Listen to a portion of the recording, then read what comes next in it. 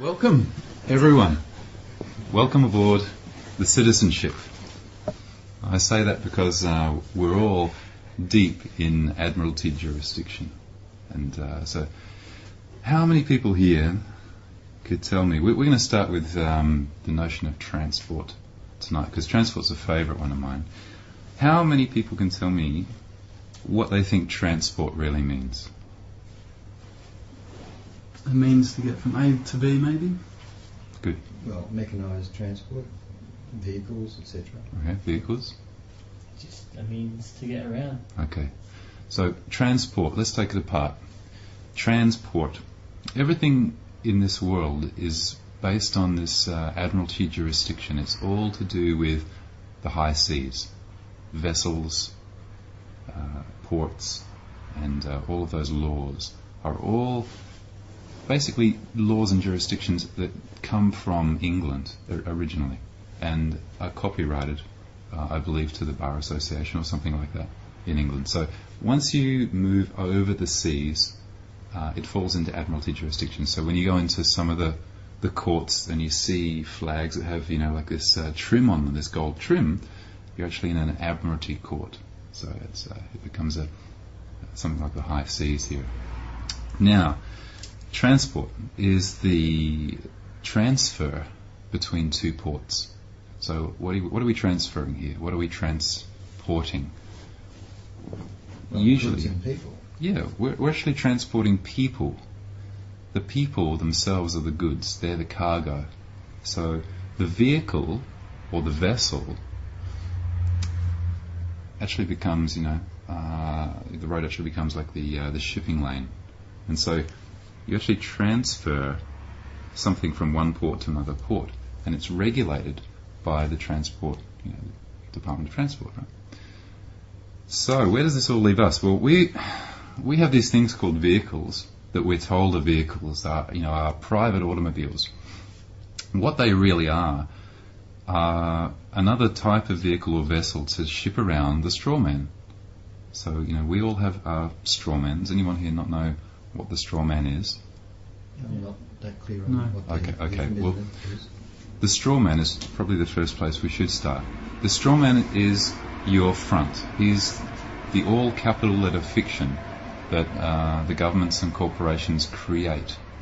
This is all, this is where the matrix comes in. Like, there's the natural world, and there's the machine world, and the machine world, the digital world, emulates the natural world. It's this the hidden world, and it emulates it in three ways and that's with uh, electricity, water, and salt. They're the three basic constituents of all life, and the uh, the machine world emulates that. And so you have admiralty jurisdiction, you have uh, you have circuit courts, you have charges, you have discharges, uh, and, and all of the other elements that make up this machine world are based on the natural world.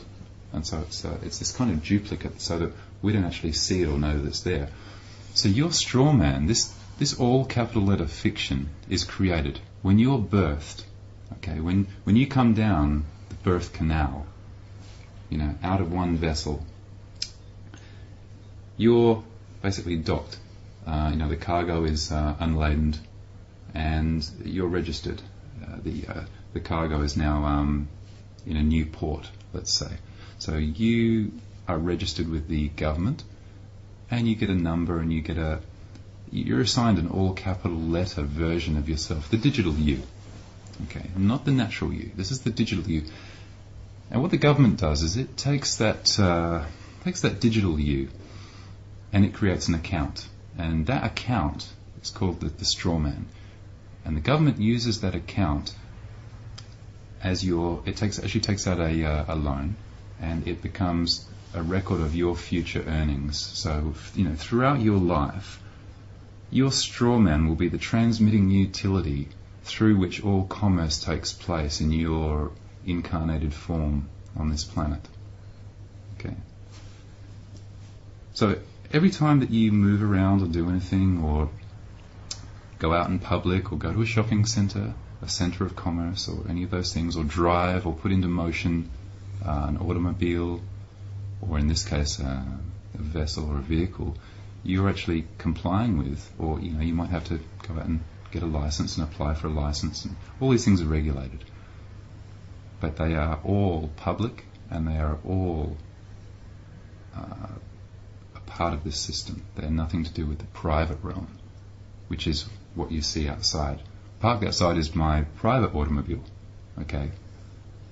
Now the private automobile isn't registered to the government because it's mine. Now, if you notice on everyone's license plate, you'll see a number and you'll see a state because it's licensed to a state within a government. So it's a particular allocation. Okay. Now, all of those vehicles that you see on the road are commercial, whether they tell you that or whether they're not, but they're all commercial. Because when you drive, that's a commercial activity. You actually put into motion a commercial vehicle for the purpose of transporting one cargo or one person. What you're actually transporting is that straw man. You're responsible for that straw man. So when you see an ambulance racing down the road to save somebody, they're not going to save you. They're actually going to make sure that that straw man is looked after because that transmitting utility is the real money that the governments have. That's the collateral that they use. They don't have any money. There is no money. It's, you know, if you think there's any money, we're going to look at that right now, and we're going to show you that there actually is no money, and uh, you're going to see that we, our labour, is the thing that actually the, the government um, holds as its collateral, and so we become. Um, if, if you travel overseas, for example, I'm going to go. Would you be able to get my uh, my port pass? It's, it's on the desk. Let's, let's get the port pass now. Uh, How many of you have a port pass? Passport. Yeah. Yeah. Okay. The passport. Disguised, the port pass disguised as a passport. Mhm. Okay. The port pass is your documentation which allows your straw person to go to another country as a foreign exchange. Okay. You become the self-loading baggage. When you go to a, a seaport or an airport and you board a commercial airline, okay, you take your straw man and you show your, your details, your credentials, and it's an exchange. Okay, there's a commodity and it's being exchanged with another country. So of course, you know, there's all these regulations and things. Now, what I've done, just just pass this around and have a look. And tell me if you notice anything at all different about my port pass. Now, while that's being passed around, I'll, uh, I'm going to write down here something on this this bit of um, this paper here. So this little little piece of paper here is going to be money. This is going to become currency. And I'm going to write down here one thousand dollars, and I'm going to pass that over there. There we go. And I'm going to write down on this piece of paper here uh, one hundred dollars, and I'm going to give that to you as well. Right. Now I'm going to ask you to sign your name on this piece of paper. And what we're going to do here is we're going to we're going to break down. It's an interesting signature. Okay, now you hang on to that, and uh, you give me back the the one thousand dollar piece of paper. Right. What we're going to do here is we're going to create a little bit of a, a credit card facility here. Right. Let's say our friend over here I'm going to be the credit card facility, the credit card provider. I could be GE, I could be any one of a number of corporations. Uh, this person believes that money is real. So he's going to come to me and ask me for $1,000 credit so that he can go out and perhaps purchase something else, which he doesn't he doesn't actually realize has already been paid for. It's actually prepaid because everything is prepaid by the labour of the people who created it. Right? hmm We're not actually paid with anything of any value. And here's the point: there is no lawful money in circulation backed by anything of value. Okay. There's no lawful money in circulation backed by anything of value. It's all fiat. And so you never actually receive anything of value. You never get paid. And so if you never get paid, where's the taxable event? There isn't one. So, you're going to come to me and ask me for a thousand dollars of credit. So I'm going to offer you this credit card, Thank you very much. and I'd like to take from you your negotiable instrument. So could you please hand me your signature? Oh. You don't want the hundred dollars? No, not yet. Oh, right. I'm going to take the only thing of value that any of us actually have, which is his signature. So I've got this piece of paper now with his value, his signature, which is the thing that creates all value. And I am going to take it and I'm going to on-sell that original document to another company. Right. So it's gone. The original debt instrument has gone. And they're going to give me back whatever. They might give me um, $800. Okay, but they just bought his so-called debt. Now, what did you get? You got 1,000 credits. Ones and zeros on uh, some computer somewhere. Okay. It didn't come out of my pocket. I just punched in some numbers on the computer. Okay. I didn't actually uh, go and get any gold and give you something like that of any value. I just punched in some numbers on the computer. So the debt's settled. Uh, I don't have any um, bank balance problem or anything like that. Okay, so my debt's gone. I don't actually hold the original debt instrument anymore, so I don't really have any right to ask you to repay me that 1,000 credits. But I'm going to. Okay, so could you give me back the 1,000 credits, please? Wouldn't I get my signature back? No, not at all. Do you ever get your signature back when you sign a contract or something? Well, in some sense of being unobligated to pay any more interest or anything to do with that debt, yes. Well, once the once the uh, once the interest has been paid, the, the But s- without being ornery, you can have your. Sure sure. so I'll I'll take back the thousand credits that um, that I gave him. Now, I'd also like a little bit extra for my time. So can I have the hundred dollars that I've just written out there for you as well? Do you mind if I, I have that? Do you really have to have it all? Sure, yeah. I, I really need it all. What if I tore it in half and only gave you 50 back? I like money. I, I like money, so I'll, I'll take I'll take it. So I really shouldn't be cantankerous. I should just give it back to you. Yeah, because that's what It's we the do. right thing to do. It's the right thing to You do. You should, all right. because otherwise I'll have to send you like a. Get Uh, bad credit. uh, uh, You'll never be able to. you, you'll get like a bad credit rating if, if you don't give me that. that. Problems, problems. So I'm going to hang on to that. Okay, now they've got your signature, and I've got this thousand dollars back. What have you got?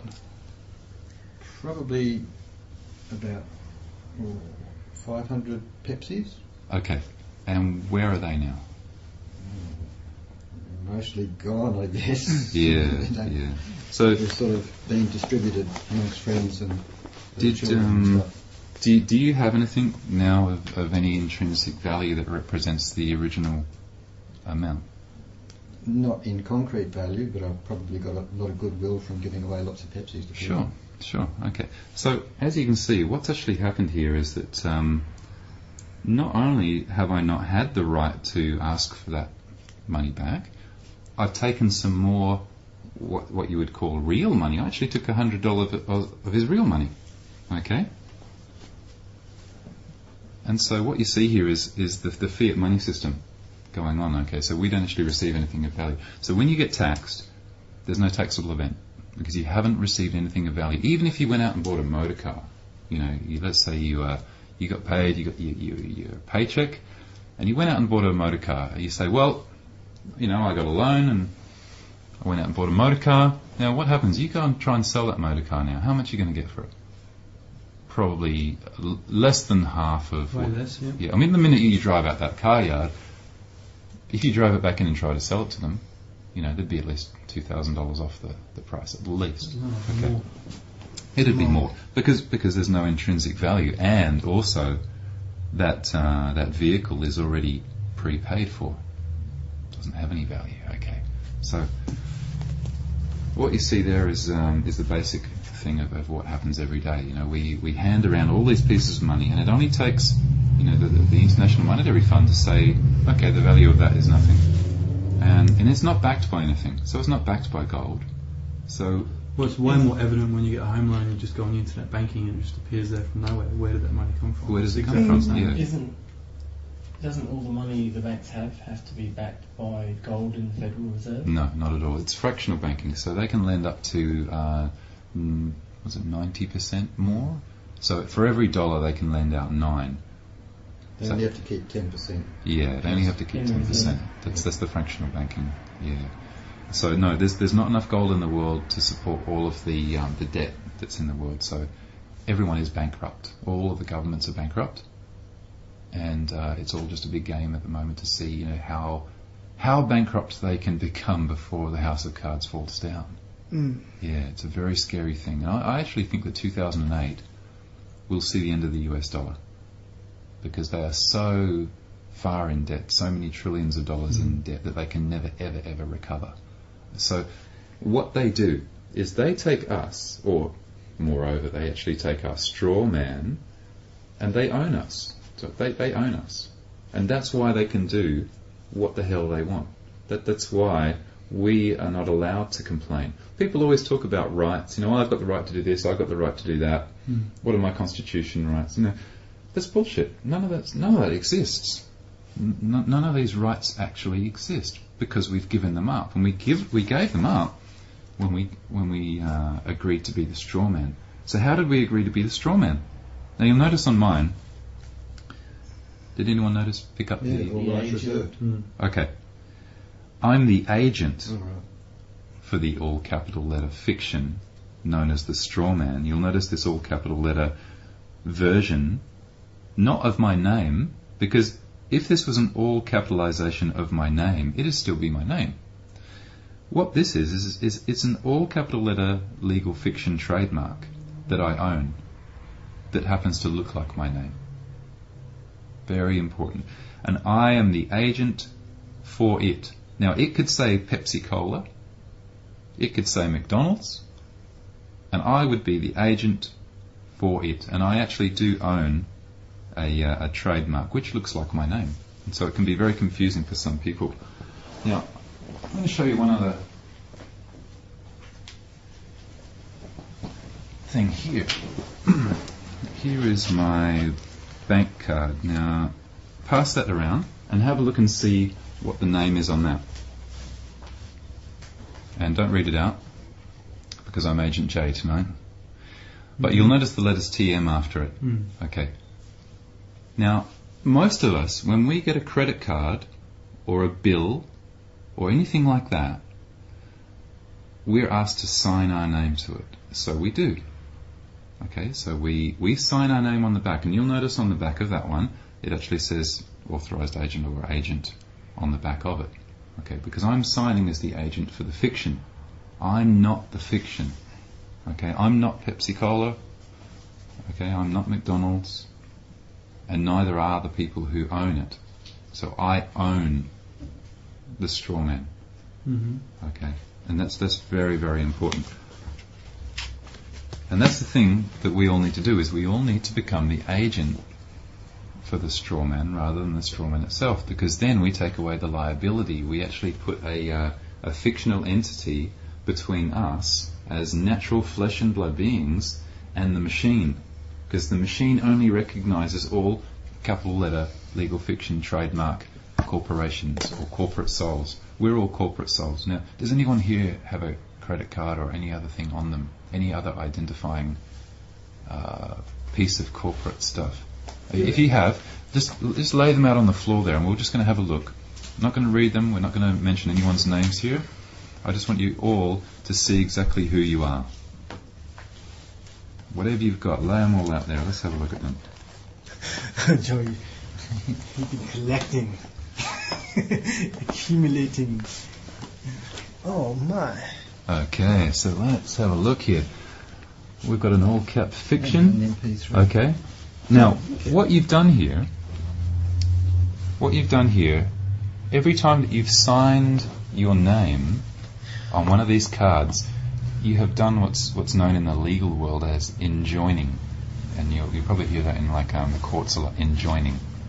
And by signing your name, You've agreed to be the all capital letter legal fiction. So you become responsible for it. You, you are now licensed. That's your license. So you have the capacity to drive a commercial vehicle and to transport other entities because that's what you are. You're an entity. You all are entities, believe it or not. Okay. This is corporations law. It's un- if you if you get out the Corporations Act and have a have a good read of it, that's where all law comes from. It's all in there. Okay. All that stuff applies only to corporations. Now, I decided to challenge the taxation department.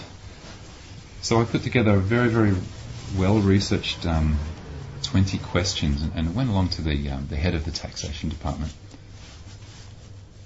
and he could only answer three of them. Okay. And basically, he hadn't read the Corporations Act, thought that it was irrelevant. And so I said to him, well, if I was to actually come along and sign up and, and you know, become a, a business, um, what would be my, you know, uh, what would I become? And he said, well, you know, you, you would become a sole trader. And that is a really interesting term, you know, sole trader. And what that generally means, um, and he hadn't, he didn't know this, but in the Corporations Act, a sole trader is a member organization, a member organisation of a securities exchange. That's the definition. Okay, stock exchange. A member organisation of a securities exchange. So when you become a sole trader, you actually sign up and you get a, an ABN number and you get a tax file number, and your all capital letter fiction will be registered. And if you sign your name to it, you enjoin and you become, and that's how you become liable for tax. That's how they get you. Because corporations are liable to tax. Okay, you can't tax a natural flesh and blood being because there's a hierarchy.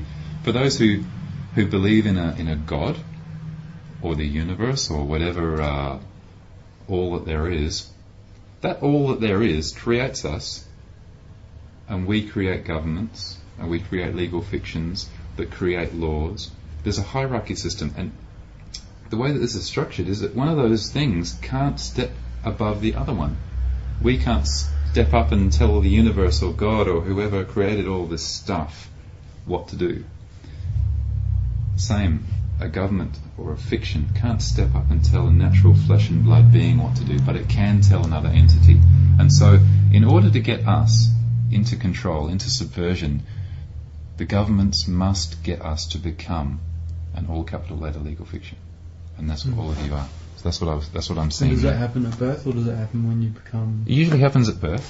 with a birth certificate? Yeah, because that birth certificate is what registers you and creates the account and allows them to take out a bond and they, they register that bond that goes on the stock market. It, it might get pooled with a whole lot of other bonds. So this process that you've gone through, can you start that as your with your ch- when your child is born? Can you Yeah, absolutely. them? Can you start off by saying they they're not an entity and they're not going to have a birth certificate? Well, one of the th- one of the things we're going to look at tonight is um, is argument, because because argument is um, is part of this system called honor and dishonor, and this this whole kind of like weird legal system that operates operates under four basic premises, and the first one is called uh, silence, okay, and silence is dishonorable, okay, that's dishonor. You have the right to remain silent. They're telling you that you have the right to remain silent. Now, perhaps as an entity you do, right? But there's an assumption there. Now, if you stay silent, silent is uh, a dishonor. When you dishonor the court, what happens? They throw you in jail, or you know, bad stuff happens, right? Number two is argument. Okay, argument is also dishonor. You can't argue with the, the policeman. You can't argue with the judge, right? Because it's dishonorable. That's where it splits. Number three is acceptance. I accept what I did. I take full responsibility for my actions. That's honorable, okay? But it can get you into trouble. Sure, because then you become liable for everything that you do. And in the legal world, you don't want to be liable for all of this uh, fictitious stuff. So we have number four, which is the It's the acceptance. It's the conditional acceptance. There it is. Conditional. Okay. So we have conditional acceptance. I accept what you're saying for value and consideration upon proof of claim. Bang. So let's say um, let's say you're the judge. Okay, we go into this fictitious Alice in Wonderland court, and there's a charge. So here we are. We're in a circuit court, and uh, there's there's a charge. Okay, because at the moment the court is dead. So get get this right. The court is dead. It cannot move, and a, and a court has to move in order to do anything, right? And so when you go into the court, the court doesn't actually have any jurisdiction over you. And not many people realise that. Okay, they've been given a summons or a, a present. Okay, they've been given a presentment to come along and, and appear. But what happened? You know, you went out to the, the mailbox and there was a letter. And on the letter, it looked like your name. But, but was it really your name? It was actually addressed to the all capital letter legal fiction, wasn't it? And so you opened that letter, and in, in opening the letter, you accepted that you are the all capital letter legal fiction. You enjoined again, because it's illegal to open another person's um, mail, right? So you opened it up, and, and here's a summons. And, you know, it might have this all capital letter legal fiction that kind of looks like your name written on it, and you go, oh shit, looks like I've done something wrong and I'm going to have to go to court on this day. So you turn up at the court, and um, okay, you can be the judge today. What would be the first thing the judge would say to me if I was sitting in the in the courtroom? Could be a myriad of things. I'm not sure because it would depend on the circumstances. What would be the, the very first I've thing never that been to a court. And ask for your name. Ask Yeah. State your name. yeah Oh, yeah, right. that actually probably the first thing they would do yeah the, the, pr- the first thing they would probably do is to ask you to stand up. All rise. Okay, please stand. hmm And if you conform with that, you give up your rights instantly. You become subject to their jurisdiction of this fictitious court. Because you've given away all of your natural common law rights just by doing what the judge said to do without any argument or anything like that. So the judge says, you know, please stand, and everybody stands, okay, and, and that's it. He, he'll then ask you for your name because that's the important thing. Because what he's actually reading is the presentment, and so he's looking at the all capital letter legal fiction, and he's saying, uh, "Mr. Anderson, you know, please state your name." Uh, you know, and you say, uh, "Mr. Anderson," and that's it. He's got you because you've then become the legal fiction again that's on his um, his presentment. At, at that point, he can do whatever the hell he wants to to you. So by not standing and not saying anything, if one actually showed up at a court, What would happen? one, yeah, what, what are the implications of that? If you didn't stand up, you would and, actually and refuse to say sure that'd be number yeah. two. That'd be number two here. That would be argument, or it could be silence. If you sat there and did nothing, that'd be dishonor. Okay, you'd be uh, in. And the implications of being dishonoured or in a dishonouring situation yeah, uh, could be quite. very bad. Seemed, seemed guilty. Yeah, this is not a position you want to be in, okay? You, you don't want to be dishonoring, you don't want to be silence. Because silence is tacit agreement. Okay, silence is agreement in law. It's an assumption, yes, but silence is agreement. Mm. So is there any other? I'm, I'm just trying to um, see what other. Well, I've never been in this situation, so I don't know. Sure. I've Well, only that- seen it on TV, but That's what we're- did not stand up, Yeah. and when they were asked the question to identify themselves, if they spoke, not remain silent, spoke, but challenged the court system there and then, hmm and could come up with enough arguments to sort of be meaningful hmm to challenge what the judge was saying, and because of an understanding of what you're actually trying to relay to us at the moment, hmm looking at the bigger picture in that, and defending themselves, well, no doubt any sort of uh, resistance from people would also be taken into account by laws or whatever, Sure. And the judge would be have some sort of recourse of action. But I mean, what what, what sort of situations could an individual resort to to actually directly challenge exactly what you're saying. All right. Well, I'll, Not- I'll go into not that exactly. Into the trap of actually being part of the system. No, no, because it is a Yeah. trap. Those two things, silence and agreement, sorry, silence and argument, okay, are the two tools that he will use to try and get your I jurisdiction. What I'm trying to say is, can you put what where you've got to now in the discussion and everything is great. It's all in theory though. Mhm. Could you give us practical examples of how this is actually Sure. expressed? Ask me, na- ask me my name. Um, uh, Agent J, what's your name? Your Honour, I shall give you my name upon proof of claim that you have established jurisdiction over the matter pending. Good. Okay. Or, I shall give you my name upon proof of claim that there is a controversy before the court. Right. That would be really throwing it back in the face of the judge. Sure, Yes. it's the hot potato thing. He's thrown the hot potato at you, and you just pass it on back to him. Because he, at that point, he doesn't have jurisdiction, right? And and so what what you just said then, what does it actually mean in, in layman's terms? What that means is that I will do what he's asking me to do, because you have to do what the court asks you to do, because you're in Alice in Wonderland. Okay, so you have to do something. You can't be silent, and you can't argue. So you're you're left with conditional acceptance, which is your remedy. It's your private remedy, right? And so you do what he's asking you to do, or you give him something that he's asking, but on your terms. So, if you ask me to stand up, okay, please stand, I would say to the judge, I shall stand, Your Honour. However, I do not waive any common law rights, nor do I grant in personam jurisdiction.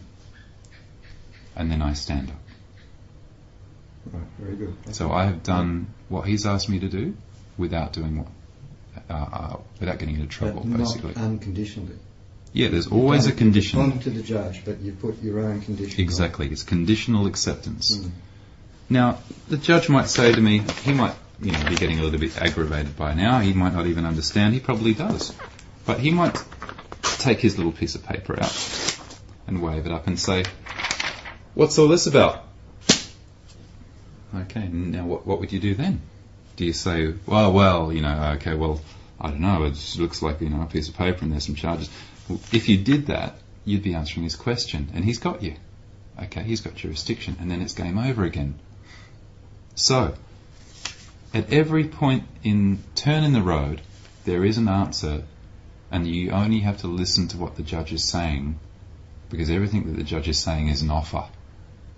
So you could say to the judge, um, "I accept your offer to assume jurisdiction, Your Honour, Your Honour, upon proof of claim that you have established jurisdiction over the matter pending." Or if he's asking you, what's this piece of paper about? You know, there there are a myriad of them. I could go into, you know, a great many of these rebuttals. So you could actually challenge the judge to verify that the judge is in a position to even be challenging you Sure. in a court of law Sure, sure. and play that game. Yeah, I mean, he could say, well, does that not just delay in inevitable uh, results from this sort of interaction where you just end up really pissing off the judge?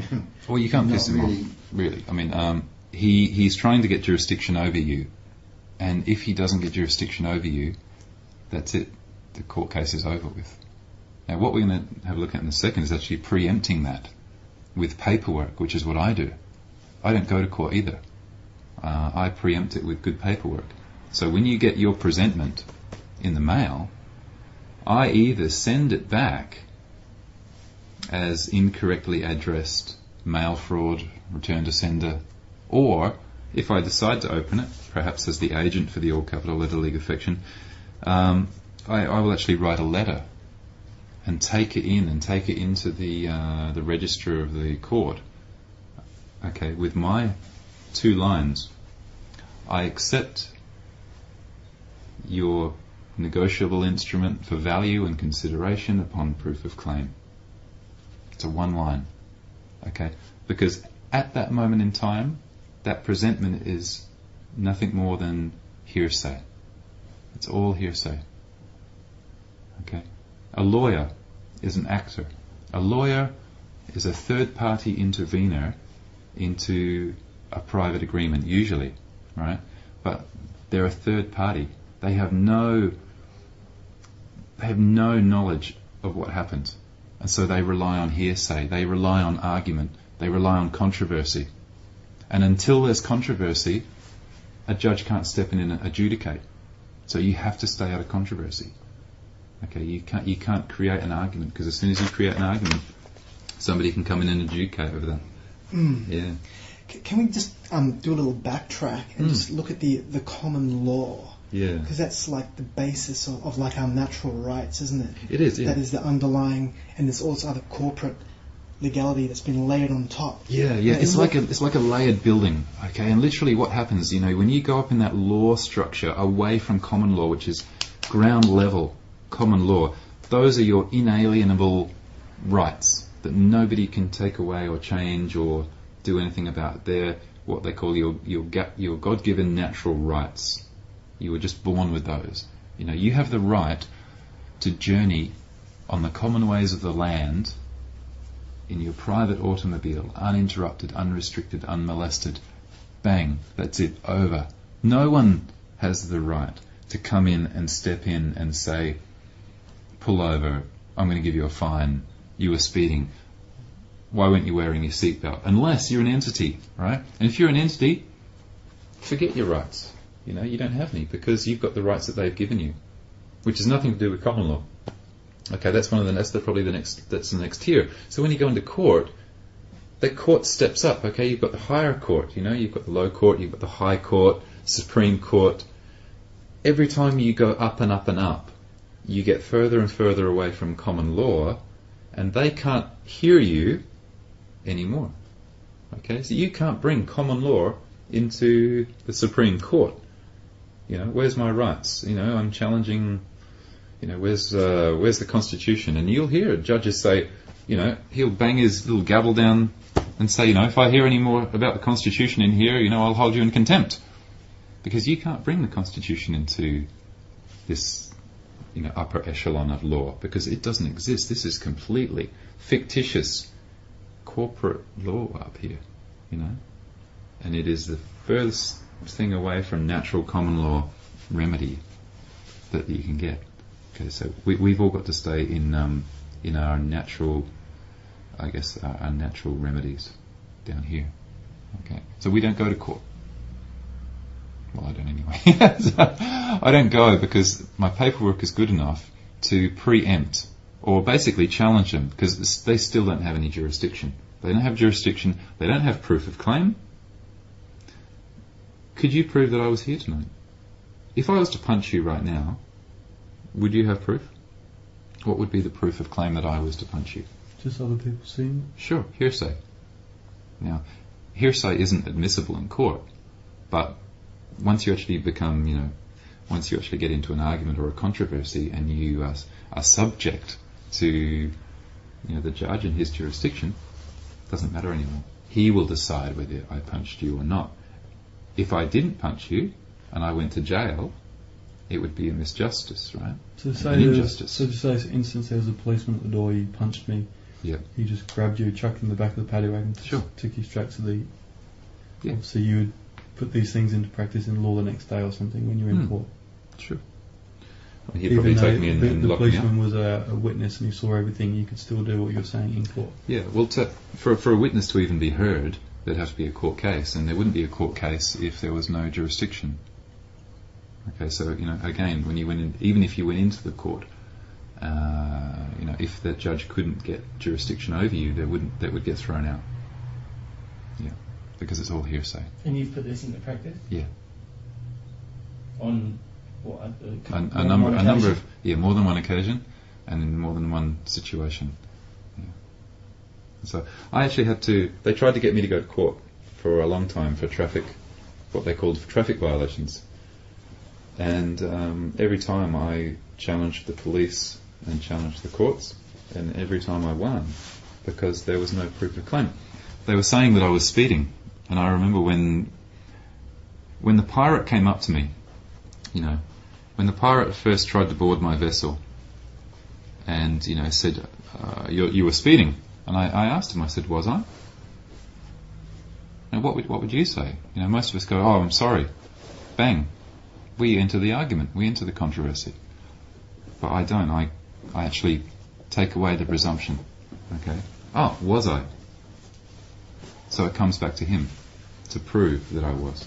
Well, look at my black box, and he, you know, he shows me this thing, and I say to him, well, "That's a that's a nice box you've got there," because he, again, he's trying to get me to agree. He's trying to get me to enter that controversy.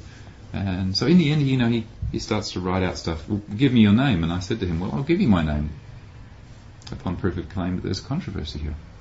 And he said, "Well, do you know that I can just take you and lock you up?" And I said to him, "Yeah, well, that's called force, okay, Or three. or a threat, okay, and that's what pirates do." And uh, all of you have kind of like grown up in the in the era of electronica, so I mean, a lot of you would would know Laurie Anderson.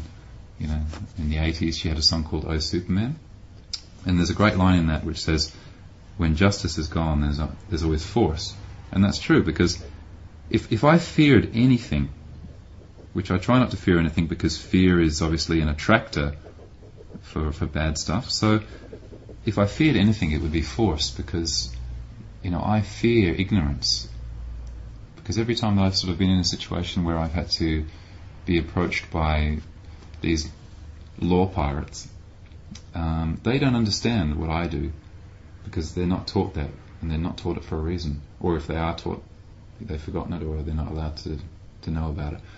But essentially, they have their set of rules because they're policing the um, the person, the fiction, the corporation.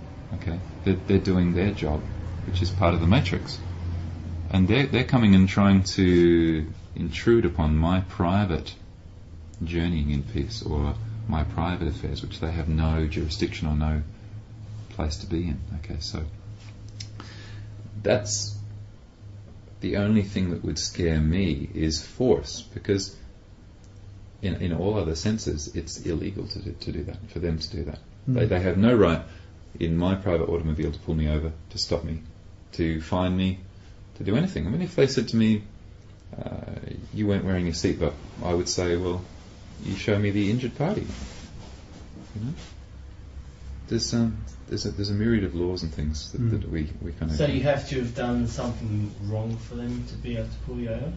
in their law, yeah. So all laws refer to corporations. Right. Yeah. So if you were drunk and you'd run someone down, Well, that, if I'd run somebody down, I'd most likely run down uh, an entity, and so I would be liable for the entity, unless um, I was the agent for my all caps. Because you see, you can only bring um, a court case or a, a claim against an entity. It will never, ever, ever come against a natural flesh and blood person. All claims, all um, insurance, for example, all of those things. You know, if it even came down to it, if we were in a courtroom and I had given up my rights and the judge said, okay, I'm going to order you to pay uh, $1 million damage to this person for running them down or whatever the hell happened, and I could say to the judge, well, I, I shall pay, Your Honour, upon proof of claim that there is any lawful money in circulation backed by anything of value. Because there is no money to pay with. Right? So we, we all come back to this fictitious land again. It's an interesting, interesting kind of system. Mm. So that's the basic, that's the basis of the straw man and who all of you are.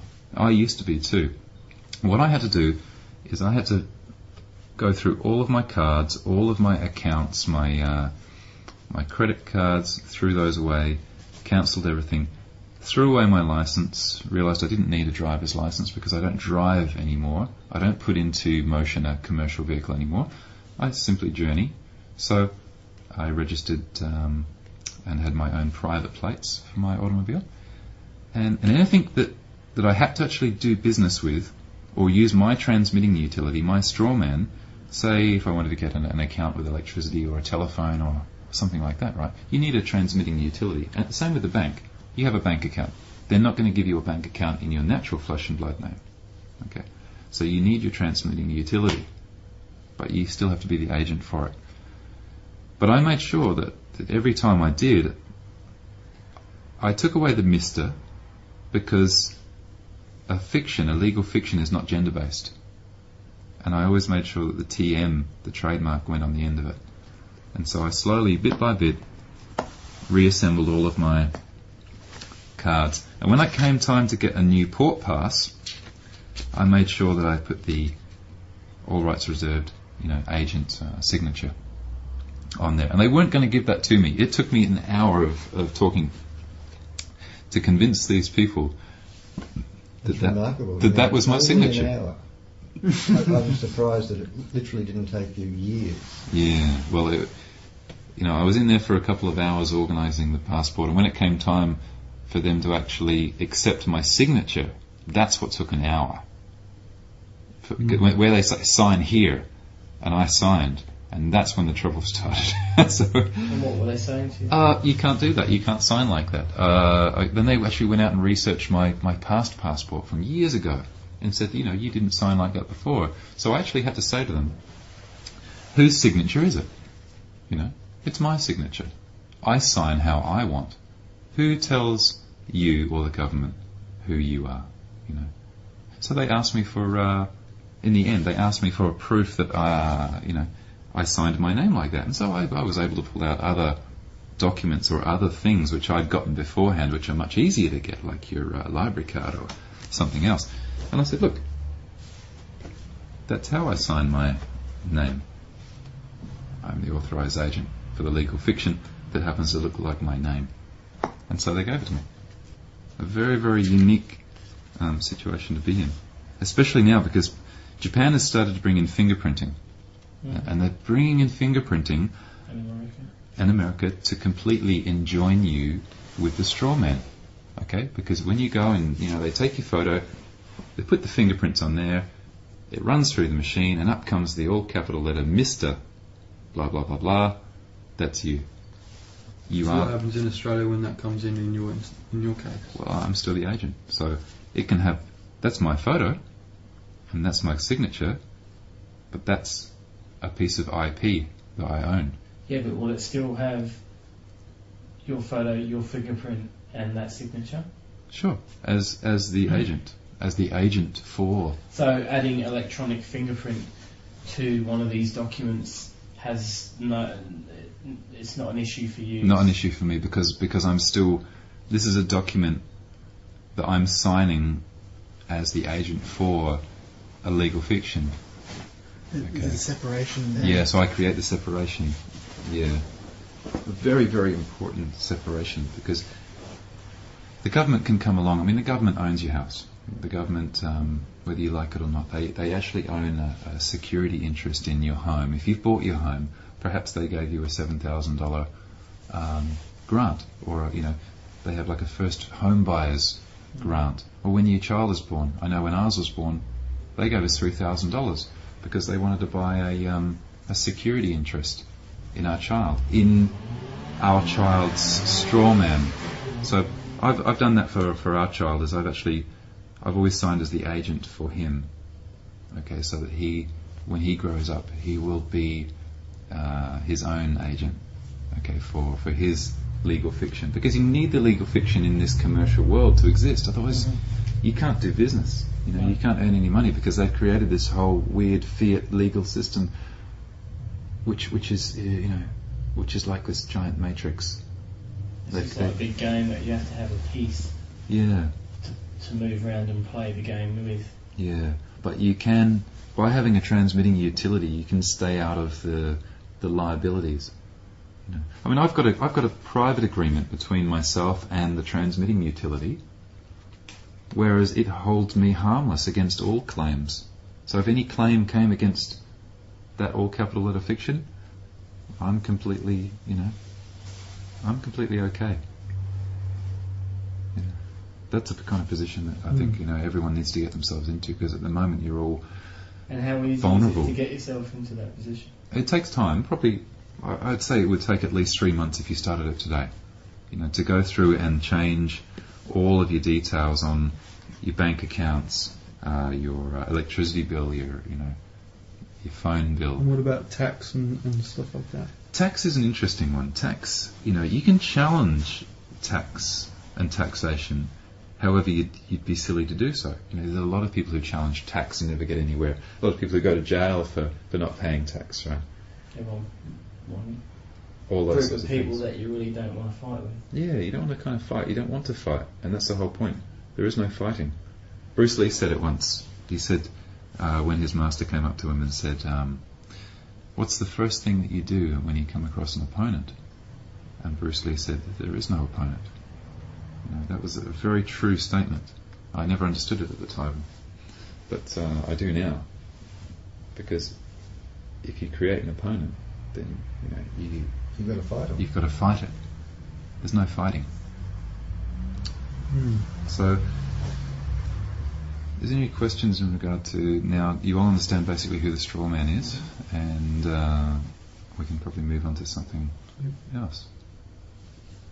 Okay, what, what should we cover next? Was that all just the straw man? That was basically an interact. It was an introduction to the straw man, who he is, how he got there, and uh, and, and basically how you guys interact with um, with the corporations and the governments.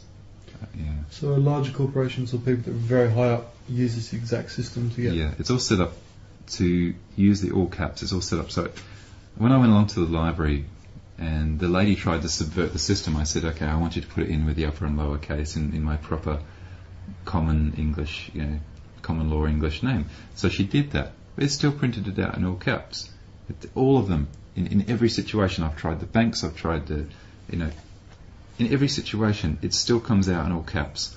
And it's not an error, and it's not a, a machine fault. It has to be that way.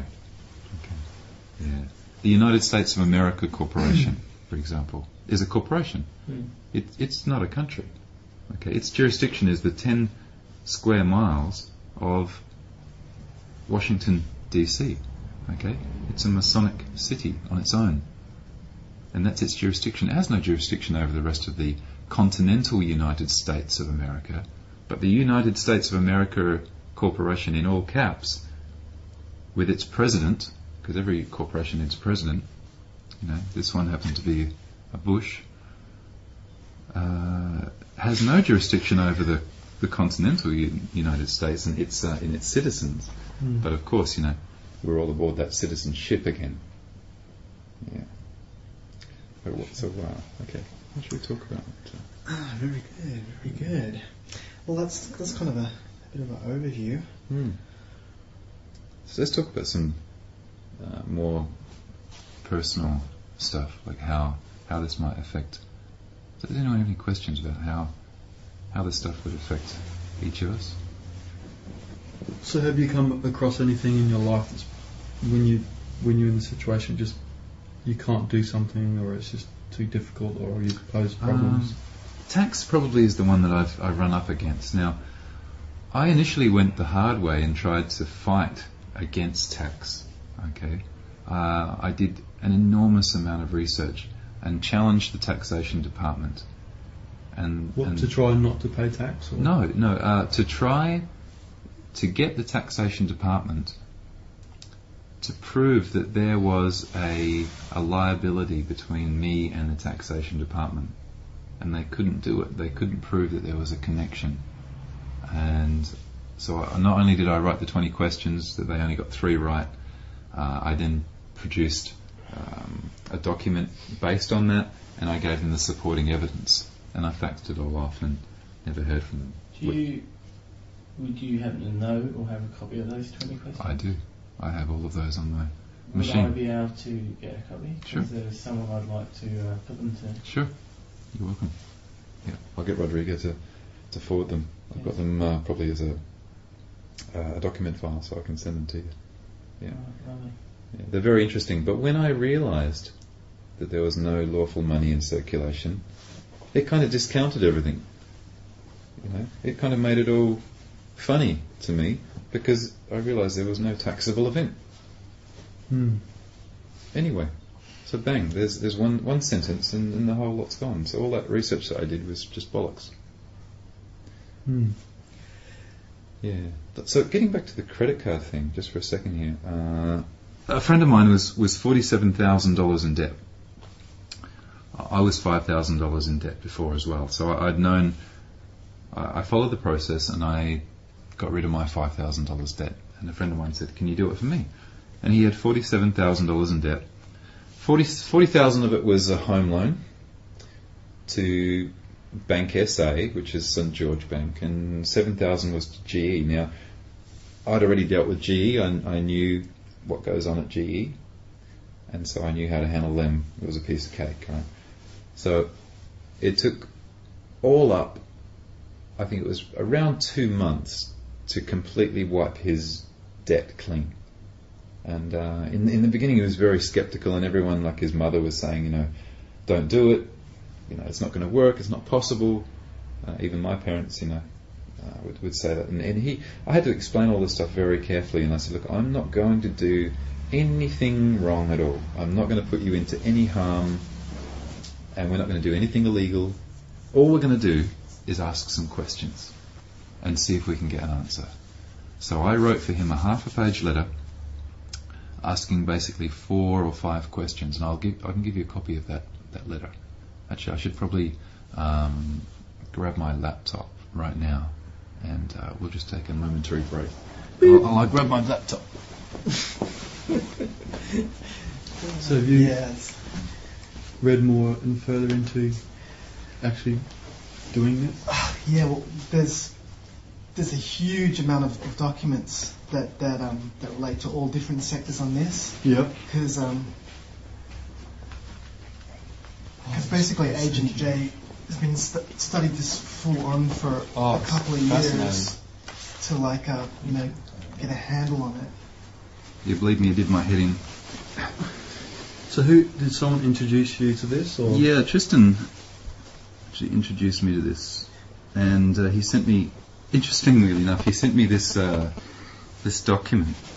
I forget what the name of it was, but it was by Mary Elizabeth Croft, and it, it was it was on this whole proof of claim thing, and um, how I think it was called cracking the code or how I clobbered the banks, one of those sorts of things.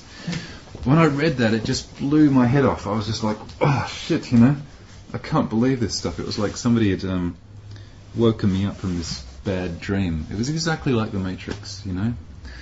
And so when I studied that, I then just went off on an incredible journey of um, having to know and research everything. So I just was downloading, downloading, downloading, and studying laws and um, corporations acts and, and all of this stuff. And I came kind of full circle. And, and then uh, earlier this year, she actually bought my CD, bought my DVD. I had a, a letter from her. And so I emailed her and was asking her some questions. And she mentioned something about a, a, a case, a court case that she was involved with. And I offered to help out. And um, so the lady, it turned out the lady who I had initially learnt from ended up asking me for advice. and so I ended up um, giving her some stuff that she didn't know about uh, to help her out with her, her court case, which was about proof of claim and things that she didn't know about. So that was really cool because she'd been doing it for 30 years. Mm. Now, Because there's there was something on a current affair. I can't remember. It, it sounds very very similar, but they basically um, had a house and pl- paid council rates. oh yeah, I can tell you all about that one. Yeah, and they did they create their own royal family or something with a Oh, king and a queen. Or, Yeah, that, that was just kind of a bit of a joke because you can do that. Basically, what and that's had- why that's, that's incidentally I think that's why the, the media gave it coverage because Yeah. it was you know trivialized the Yeah. whole thing, Yeah. made Yeah. it like a little make it a joke. novelty. Yeah, People just go, oh yeah, sure you can do that. You know. They have a bit of a laugh and a bit of a chuckle, you know. Oh, look at it. Okay, essentially what you can do, l- land is ours, okay? Nobody really owns it as per se, right? Um, the government kind of holds it in, kind of holds it for us, okay, until we reclaim it, which sounds strange. So what you can do is you can actually do a quitclaim on, on the land and go back and check all of the titles to the land. And you can actually get the original title and make sure that you own everything and there's no encumbrances. And then you declare yourself a state. Okay? So you declare yourself to be your own state. It might be the state. You can make up whatever name you Mm. want to right And that's what these guys have done. They de- declared themselves a state because the government w- w- was denying them access to their land. And if you notice, everybody has a medium strip on their land, right? Mm. Even uh, even here, okay, certain people have been fined for parking their car with the arse end hanging over the in their own driveway, mind you. But the arse end of it is on this supposed, you know, invisible median strip that the council owns. Okay? And you're blocking this kind of fictitious, invisible piece of land. And I'm sure that the governments make a median strip so that they control access to your land. Right? And so anyway, this that's what that um, that was all about. Mm. So these guys, you know, and just to kind of formalise it, you know, they decided to become king and queen of um, their own state. And so everyone can Wouldn't do that that. exclude you from taxation also? You can make up your own rules. You can do whatever you like because you become what what we all are, sovereign. We're, But- we're all but sovereign. At the, yeah. at the same time, if you did that, wouldn't they be able to say, well, we're not going to supply things like power Sure. and water? Sure, and so what he what he had done is he'd actually gone and made agreements, which you can do as well. You go and make an agreement with a uh, a utility supplier or with a you know a phone company, and you have an agreement with them to supply something. Mm. You know, yeah, but I don't think they were paying. They weren't paying council rates. Yep. Yeah. exactly, yeah. It's all it's all about agreements. Now we're going to pop back to uh, these credit card ones. Let me just open this up here. Doesn't matter if we drop off What do you think would happen if people this got out in the public and everybody started doing it? Would they be able to change the law? You can't change laws, okay, because we don't own the laws. Um, Would they what, use what I would what I would be what I would be afraid of, ha- of happening is of opening a Pandora's box and having subversive groups or perhaps even uh, Vikings or way. you know misusing the system because the key point in all of this stuff is that we all have to take back our sovereignty we have to take back our responsibility for our actions, and we basically do. I mean, when I when I journey on the on the roads, on the common ways of the land, I still abide by the general speed limit, even though I'm not subject to it. Hmm. I still accept, and you know, there's a certain level of responsibility that everyone else is doing this.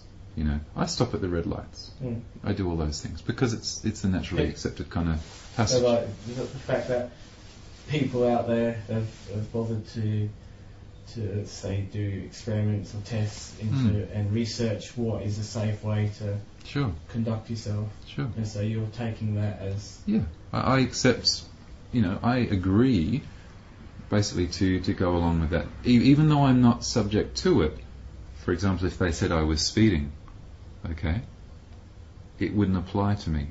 So, I generally accept, you know, the, the status quo, and by doing that, I take responsibility for my own so actions. like you were saying before. The the problem in this being is that people who aren't generally uh,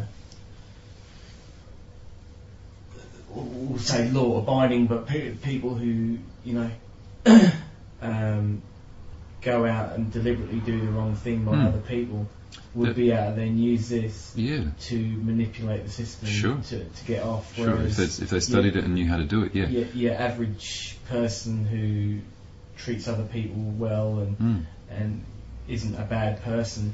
mm. So But could you go to the extreme, go out and murder someone, get arrested, and use these techniques to stay out of jail? Oh, I won't answer it. yeah, I won't answer those questions. Hmm. However, Wait a you minute, know, wait a minute, wait a minute. anyone But can- in theory, in in theory, sorry, you can't just go through all of this yeah. and But for those people who might be and duck listening, out of answering a question like yeah. that. But I don't want to prompt anyone to do anything. You can see what I'm coming from. No, but you've got to be clear about where Mm. you're coming from. You can't sort of In- outline in a theory theory, like this and Surely. then when when you're challenged at a point that's really a really bit too hard, sort of duck out of it and say no. Mm. Okay. Well, in, in theory, yeah. Yeah. Sure. Thank you. You could any any one of us could take a gun and go and shoot someone, right? Um, but it's not morally right to do Mm. so. Back in the instance where you're in court Yeah. and the judge wasn't asking you those questions, you're responding in a way where that you're putting the question back on him. Mhm. What happens in the end of that court session? Dismissed. He just says court dismissed, thrown out the case. Yeah, because he's not able to um, gain jurisdiction over you. Yeah, so it, uh, But you could just do a little slip up with one word and then he's got you. yeah, yeah, you'd have to really work to get back out of it again. You know, if he's once he's got you, yeah, it would be it would be difficult, but you could do it. But um, the best way is to stay out of it, and the best way is not to go to court, Hmm. obviously, with with good paperwork. So I'm going to just try and open up here. I, I guess the um, you know, if people had intent to, to you know to follow that path and initiate all the processes, um, you know, primarily for um, you know, let's call it antisocial behaviour. I think they'd probably find it a lot easier to do what like, you know, criminals, you know, corporate criminals to street criminals do all the time and just do it anyway and just use the And just get a really good lawyer to get you off anyway. yeah, yeah, whatever. So that's probably you know for them easier. Just you know, pay some money to Hmm. get the right actor to. you know. Yeah. Okay. I've um, I've located the files now. I'm just going to open these up and read you something here. Now this is getting back to the the issue of credit card fraud and credit card debt. Now there's no such thing as debt. I just want to make that very clear. There is no such thing as debt. This this is a notice that I put together for uh, a friend of mine who was in, uh, as I said, forty-seven thousand dollars of debt, and uh, he received back a, a notice to say that the um, the balance was zero after I'd finished this. Now, this is a conditional acceptance and debt verification notice. So he didn't have to get rid of his entity or anything. No, He just had to do use uh, these letters. I, I basically acted as his agent, Uh, and uh, I think we did about three or four letters. Yeah. So, what I basically wrote for him was this. I refer to the default notice dated 11th of March 2006 and wish to advise that your negotiable instrument has been accepted for value upon proof of claim, which may be substantiated by forwarding the following verification of debt details within three days, 72 hours, of receipt of this notice to the address listed below. Number one, proof of the existence of an account or contract in the actual flesh and blood name of John Doe, duly signed and witnessed by both parties, not a unilateral agreement, and upon which signed page there is reference to the entire agreement. Note, John Doe is an artificial entity, a limited liability legal fiction trademark, which constitutes valuable intellectual property, and all rights, title, and interest, are reserved. Number two, proof of claim that you are the current holder of the original above mentioned debt instrument and that it has not been on sold to another party. Remember I talked before about the debt being on sold. They no longer have the right to claim. Number three, a copy of the actual accounting whereby Bank SA has incurred a loss of the alleged debt. And number four, an invoice, not a statement, for any amount of money allegedly owing or owed to Bank SA by John Doe. Now at the bottom of there I've got a disclaimer. So here are the things. Now I know that they can't provide any of those, and, and these things vary. Sometimes I like to put on there as a number five, proof of claim that there is any lawful money in circulation backed by anything of value, because that really fucks them up, right? Can I say that on the air? Fuck up. Yeah. Hell yeah. There's a disclaimer. Sorry. I was gonna say- So you could go out tomorrow into a bank, get a five hundred thousand dollar loan, go buy a house, and then send a all over these letters and be be rid of the debt, but still have the house. we come back to force here because what they would what they would attempt to do is to extort the physical property away from you because there is a certain maxim of law of uh, ownership you know finders keepers kind of thing so what they kind of do in those things is they try to hire people to take away the property away from you it's all about ownership physical ownership of something right plus I would say that they also own the deed that you don't actually have the deed yet. Right. Okay, so it's a difficult situation in no sense. It would be different if you had a credit card and you'd gone out and bought something and they couldn't actually physically locate the item to try and repossess it, Mhm. you know, um, during this period of redemption. Mhm. Yeah. But you were like saying that. his was a home loan. Could they not try and take? Uh, house. sorry, I think his was actually a personal loan. No, he was actually wanting to to get a home loan. Hmm. Uh, so he was wanting to make sure that his credit card, um, I guess his um, his debt history was clean. Hmm. And I'll, I'll come that, to that in a minute, which is the cleaning part.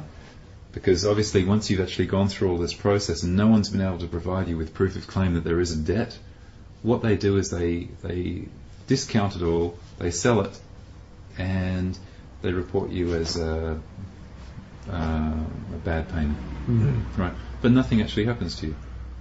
And so, So you do end up with a bad credit rating. what you what you end up with is a note at one of the credit reporting agencies that says this is a default payment, okay? Because their books didn't balance.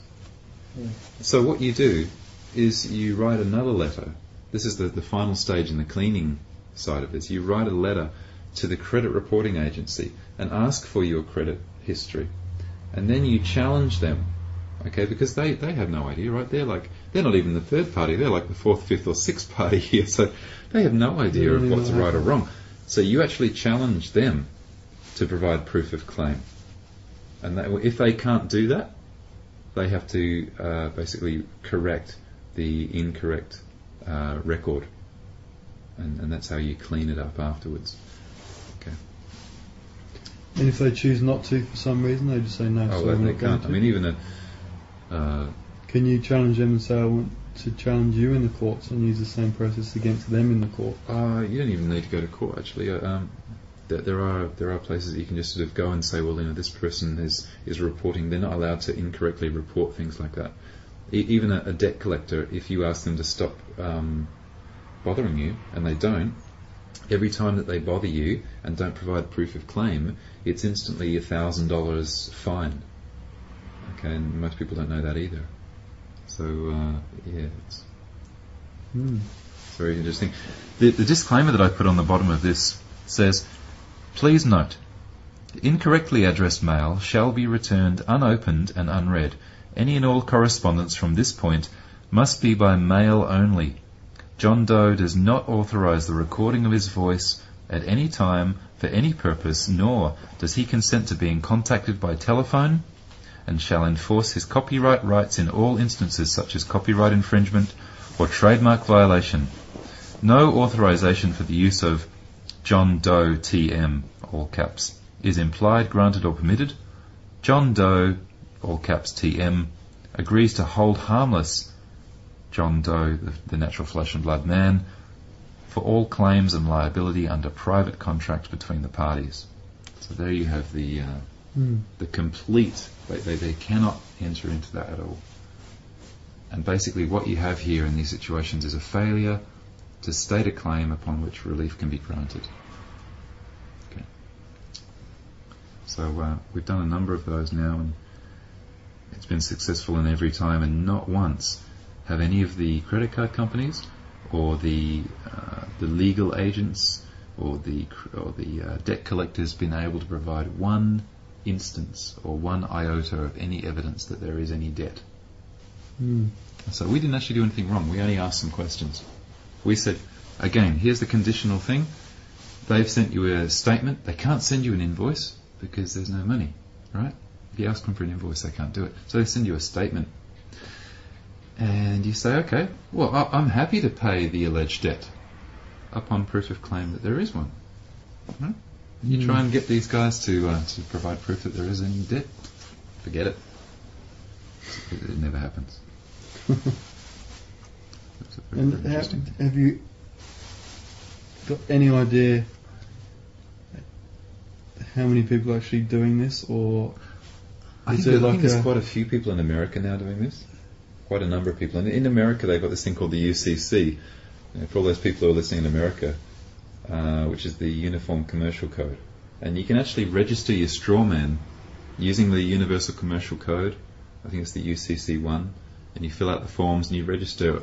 Basically, everything that you own comes under this filing, this UCC one filing. It's an agreement which basically states that you are the the owner of the right, title, and interest of, of everything that you have, including your your straw man.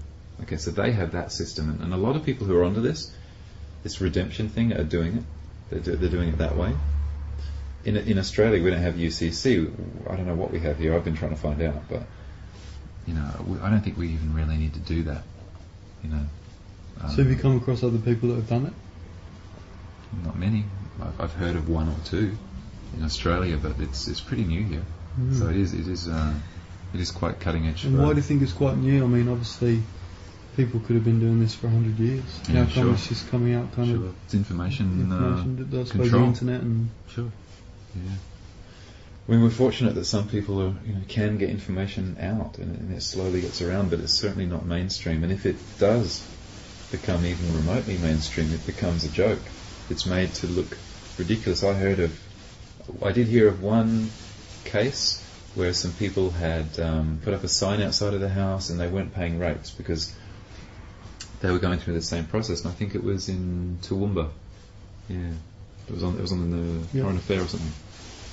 And do you think it's a, a good thing to get this information out? A good thing that more people do it, the better? Or is it I do now. more people are aware of it? Yeah, I do now at this particular time because of what's going on in, with America and uh, the other, the whole. You know, we come into the, the Bilderberg, the Trilateral Commission, all of the the New World Order. You know, we basically whatever people kind of say New World Order and they go, oh, and it's all like George Orwell, right? But but there is there is a New World Order. Absolutely. Yeah, and and it's formed by all of these corporations and, and entities, and, and basically all of the people who run the world. You know, all this stuff filters down through the media. There's only six people who run all of the media in the whole world. Mm. There's only six people, and I've got a map of that uh, somewhere on this computer, amongst all the other stuff. But it lists all of the uh, control of the radio stations and the uh, Mm.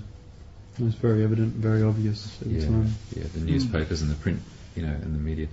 So there's only six people that actually run that. You Mm. know, Filtered through those Mm. six people. mm.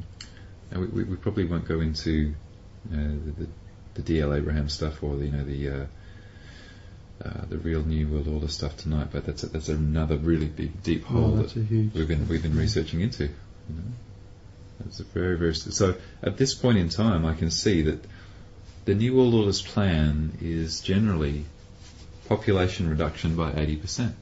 That's that's generally been the consensus of what they want to do. They want to reduce the whole population by eighty percent by whatever means. Okay, but when they come around to your house and knock on the door, you know they're going to be taking the straw man away for sure because they can. They Mm. can declare a you know a state of emergency as they do in America. Over there they have this scary thing called FEMA. You know, FEMA will come knocking at your door and they'll uh, take you away and put you on a truck and they'll lock you up in a in a FEMA facility, right? Because they can. Mm. Yeah. That's force. That's not law. That's force. Mm. You're talking about private corporations assuming control over natural flesh and blood beings who have been misled into becoming entities and soul, corporate souls unwittingly. Without even realising it, yeah. What do you think? What do you think was the um, sort of the, the, the major sort of? Uh, first of all, these common laws. I mean, we talk, when we saw the movie uh, V uh, Yeah, V for, Vendetta. v for Vendetta is an interesting name. and the Old Bailey. Yeah. What's it, it? Are those laws actually um, held in a repository there? Is that the? No, the, the Old Bailey in, in England, in uh, I think it was in London, was was the place in the old days in old England where common law courts were held. Okay, and the Old Bailey is the I guess the standing remnant of old law of, of the law of the land. Mm, And so the Old Bailey is has become a symbol in England of, of where law came from, which I think also came from Rome, right? Because you know England was kind of founded by Rome. So in V, in V for Vendetta. Now, when I first saw V, I was like, yeah, this is great. Burn down the governments, right? But when I did my research, I actually found out that that V was supporting Guy Fawkes. Yeah. Now, in England, they have Guy Fawkes every year, and they burn Guy Fawkes. And why do they burn him? Because he was a Roman. Uh, he, he was actually a, like a Roman traitor. No, not not a Roman traitor, but he was a traitor of England. Okay, he was a traitor of the the protesters, the Protestants. Protestant means to protest. Okay, so when you've got the Protestants and the Catholics fighting each other, what you've got is the Roman Catholic Church trying to take over England. Okay, and you've got the Protestants who are protesting against it. Now, in V, he's supporting Guy Fawkes. Now, Guy Fawkes was a Roman Catholic infiltrator into. Uh, he was going to blow up Parliament to unseat the Protestants and to reinstall Roman Catholic law. Mm. Okay, so what V is actually about is actually a disguise of um, bringing in this corporate control under the disguise of being against governments. But in fact, in the beginning of the film, he blows up the Old Bailey. Okay, and if you look at the words on the, the side of it, uh, I can't recall them exactly, but it says something like you know upholding peace or common law on, on the side of the Old Bailey. He blows that up. It, on the top, it's got the lady with the scales of justice, and he blows that up because he blows up, as he says, he's blowing up the symbol of what it stands for, and what that stands for is common law, and the reintroduction of this uh, this matrix, you know. And of course, the V was written by the Wachowski brothers, who wrote the Matrix. I mean, these guys, you know, have this this Mm. symbology right through all their films. Mm. Yeah. So, so these these common laws, they obviously must still be in there, like the oldest law books. Yeah. They're just written in ye olde English or whatever. Yeah, yeah. I'm sure there must be a way to get hold of the original Yeah. you know, Ye tablets they were written on. but yeah, the, the common law, the law of the land, Yeah. w- would have been very different. You know, Mm. so it'd be interesting to compare that to what we have now. I mean, when people don't realise how how America got to be where it is and what it was doing and what this is all really about, but when America, those 13 states that split off from England, right, and wanted to be their own country, okay, with their own, and manufacture their own money, that's what England was fighting them over, really, was that they wanted to create their own money, which wasn't backed by gold. And the people in England at the time said, you know, if you allow a country to do that, they'll take over the world. Right? Because They're just going to have. so they can just print their own money, right? It's all, it's all printed by the Federal Well, Reserve. they knew Pri- that England wasn't going to get any tax money from Sure. um, the Americas. Yeah. So it's, it's all That's like what they this. were going to miss out on. That's what they Yeah. were defending Sure. from England's point of view. Yeah. And so you have the the War of uh, Independence. Okay. Um, was it 1812, 17? When was the War of Independence? 1776. 1776. That's the date that's imprinted on the Statue of Liberty's tablet that she's holding. Okay. The Statue of Liberty, by the way, is actually the Masonic uh, goddess Semiramis, and she's the goddess of war. So the Statue of Liberty has nothing to do with liberty. Okay. She's the goddess of war. So they went from producing money with paper to money on computers, which is even more. Yeah. Well, even even the money on paper wasn't backed by gold. Mm. So England was against that. France joined with America, obviously, against you know against England. So you've got England fighting America, uh, basically over this this this money creation thing. And it all goes back to Babylonian times, really. It, go, it goes back to the time of uh, all the way back to the Jews and and uh, and Babylon you know, and and the Temple of Solomon. This stuff goes all the way back because Semiramis was a Babylonian, Amazonian, believe it or not, an Amazon queen. Okay, the triple goddess, the tri-star. You know? She's Columbia. She's you know when you see Columbia pictures, she's on there holding her torch. You know, Columbia TriStar. She's the triple goddess. She's the Masonic uh, Babylonian queen at the time of Nebuchadnezzar. And what, what was the ship that the you know they had in the Matrix? The Nebuchadnezzar. Okay, where were they going? They're going to Zion. You know, Who did Saddam Hussein think he was a reincarnation of? you, you've got to trace all this stuff back to. Uh, Yeah, this is all rather mythical and iconic. it is. Yeah. Um, but this artificial system that we're that you're outlining and that we're dealing with, um, if it doesn't exist, whether it's the matrix or not, humans and society have to interact on some level. What would you suggest to replace it with? What system of organisation and interaction between entities, be it real entities or virtual ones, Mm.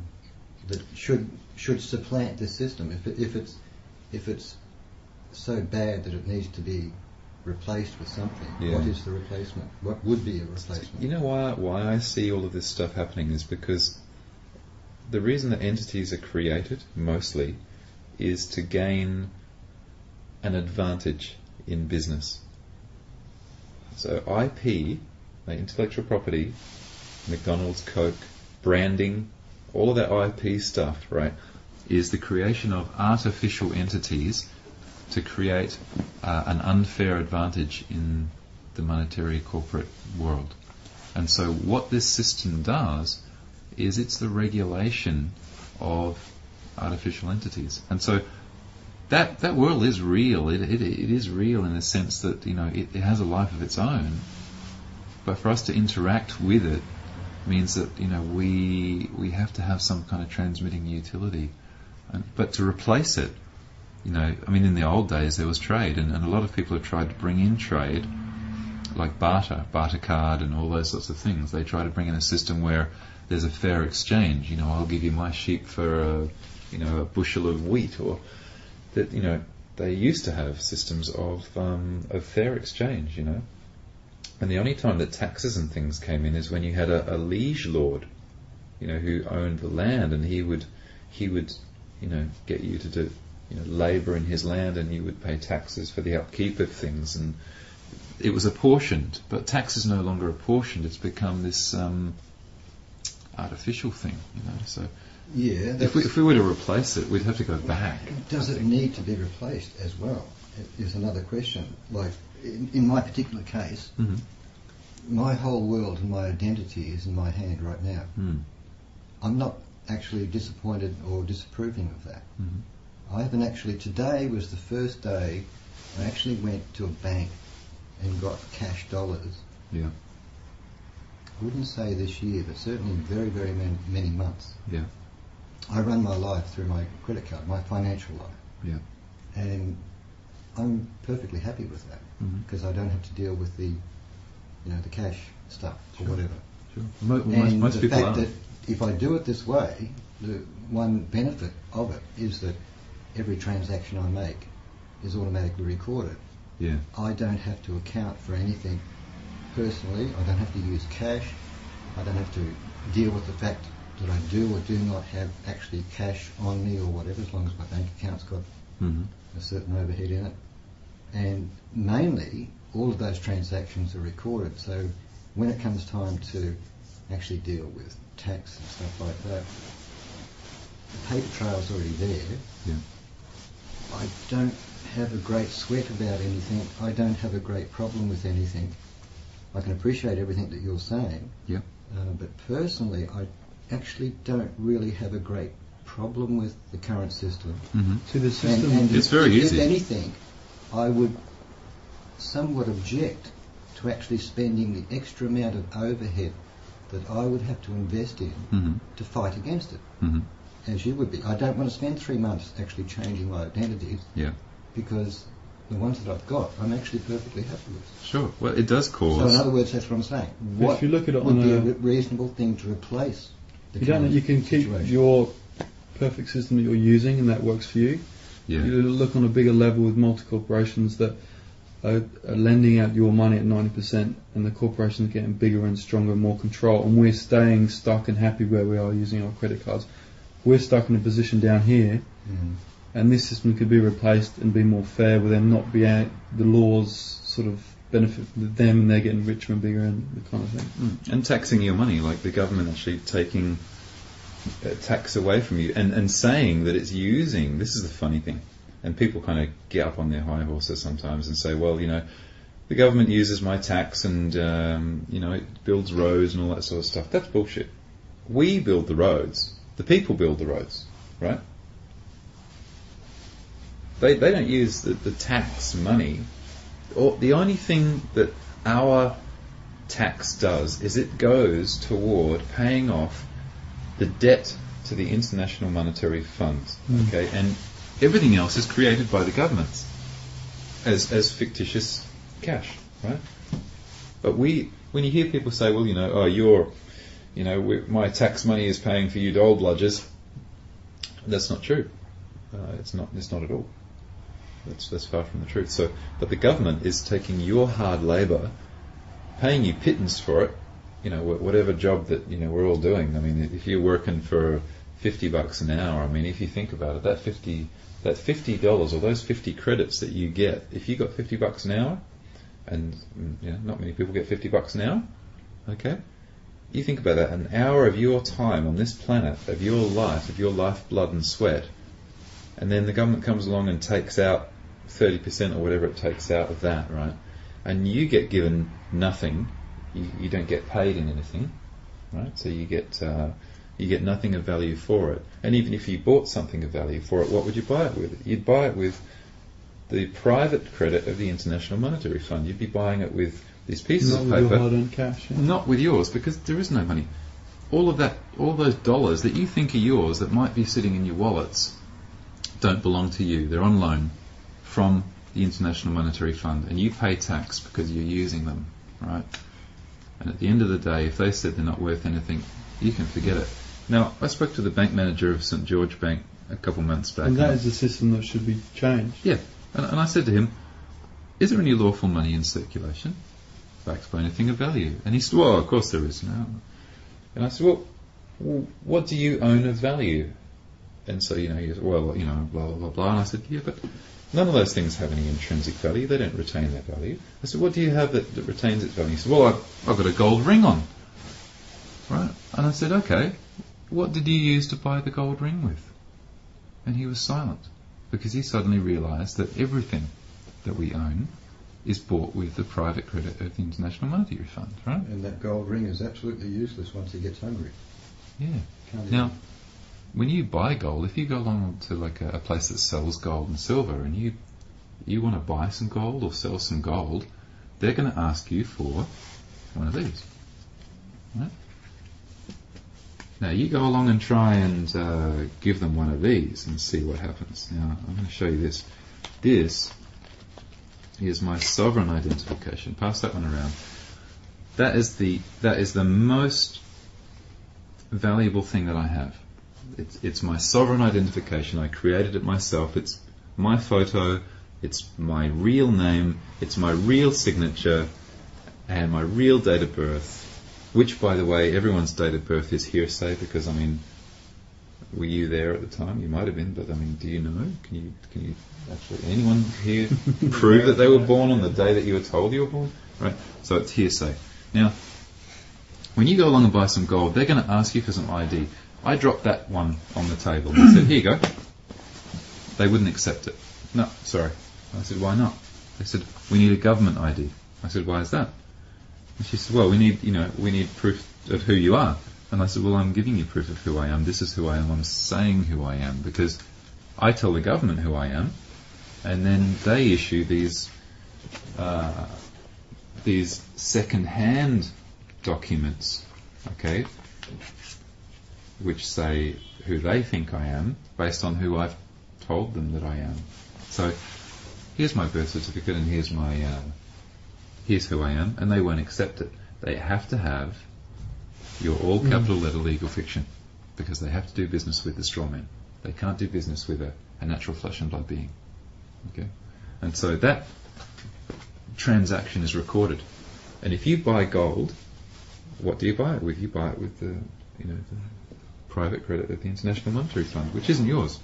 and so they can just go and take back all this stuff if they want to. Mm.